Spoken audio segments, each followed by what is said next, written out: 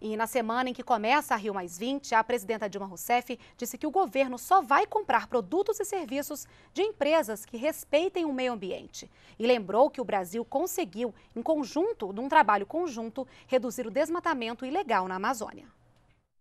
É resultado do trabalho conjunto do IBAMA, das Forças Armadas, da Polícia Federal e também dos governos estaduais.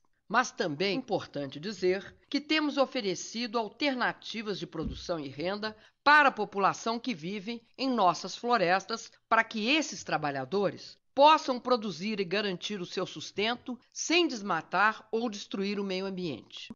A combinação de uma fiscalização forte com ações que permitem a exploração sustentável dos recursos naturais é o que ajuda a manter a floresta de pé. Hoje, mais de 80% da floresta amazônica está preservada. A partir de agora, nós vamos exigir ou vamos dar prioridade a produtos e serviços que sejam produzidos ou feitos de forma sustentável. Isso significa que se a gente tiver dois fornecedores de um determinado produto, vamos comprar daquele que produz com menor impacto sobre as matas, o ar, o solo e os rios, com economia de água e de energia e, o que é importantíssimo, com maior geração de empregos utilizando mão de obra local. Esse é o modelo de desenvolvimento que vamos continuar seguindo, que tem como base três eixos que são igualmente importantes: o eixo crescer, o eixo incluir e o eixo proteger.